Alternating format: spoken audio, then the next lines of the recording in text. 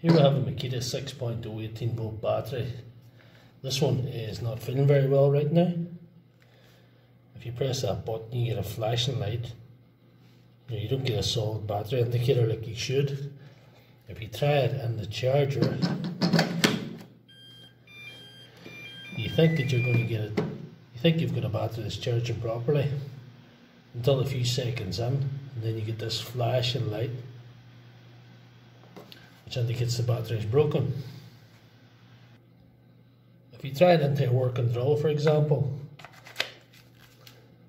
puts on the lights, but not power the tool.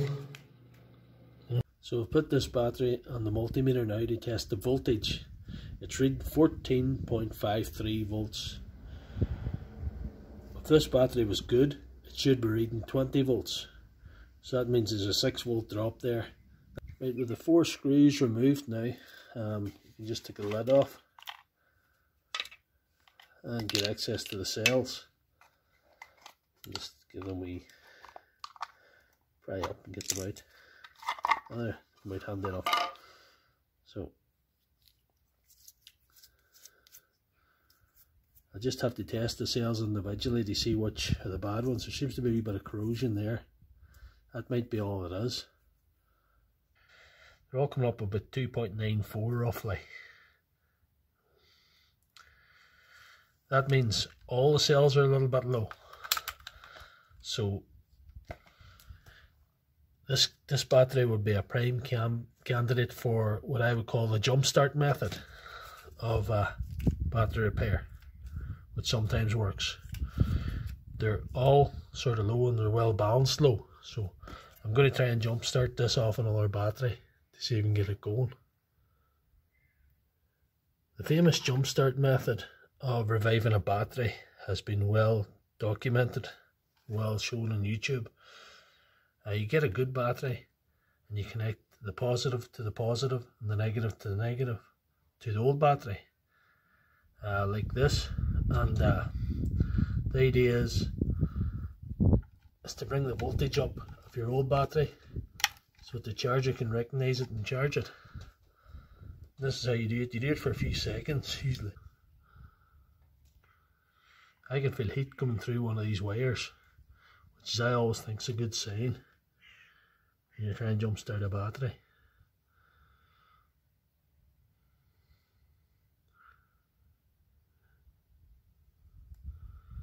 There's something happening there.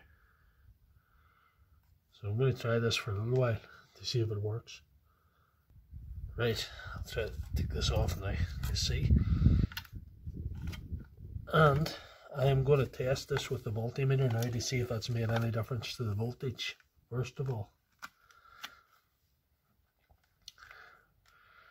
We're getting 17.23 volts, which is a lot better. I've brought it up from 14.53 to 17 0.23 so the next thing is to throw it in the charger to see if it's going to go.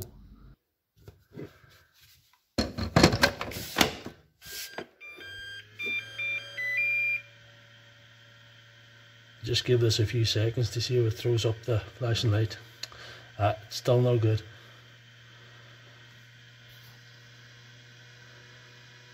That fix hasn't worked. There must be something wrong with the circuit board as well conclusion, what we found out is the cells in this battery are good, but the PCB board is faulty and doesn't allow the cells to be charged by the charger. It doesn't allow the cells to power the tool, even if you bring up the voltage like I did. I'm going to have to order a new board for this and show you how to replace it in the next video. This may take a week or two, but until then, keep liking, subscribing and commenting, and have a great day.